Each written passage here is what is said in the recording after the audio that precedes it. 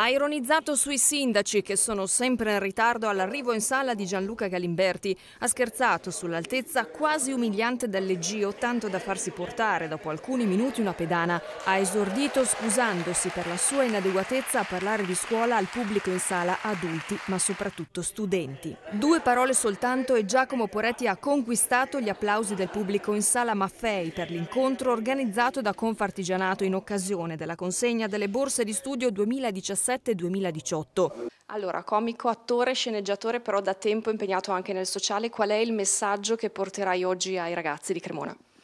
Eh, domanda difficile, porca miseria. E io avevo cercato di dissuadere il presidente no, a invitarmi perché io sono il meno adeguato a parlare di scuola perché praticamente il mio curriculum scolastico fa, fa paura, no? sembra il curriculum del, del Crotone, peggio del Benevento. No?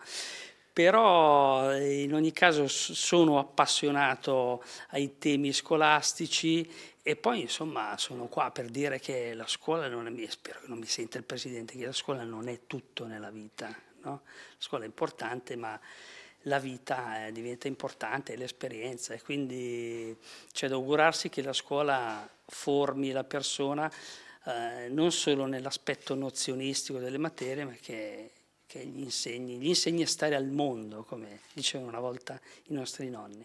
Gli studi all'Istituto Professionale per Elettromeccanici, 5 anni in fabbrica come metalmeccanico, il contratto di un anno come ausiliario in ospedale a 750.000 lire al mese per 13 mensilità. Sono solo alcune delle infinite slide indoors della vita di Giacomo Poretti prima che gli si spalancasse la porta, quella vera, che ha segnato per lui la svolta.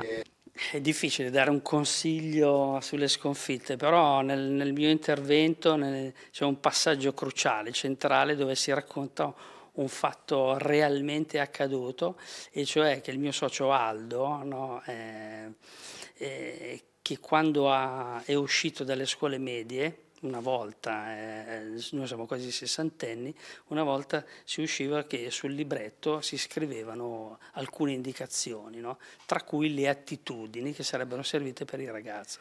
Alla voce attitudini, due punti, nessuna. No?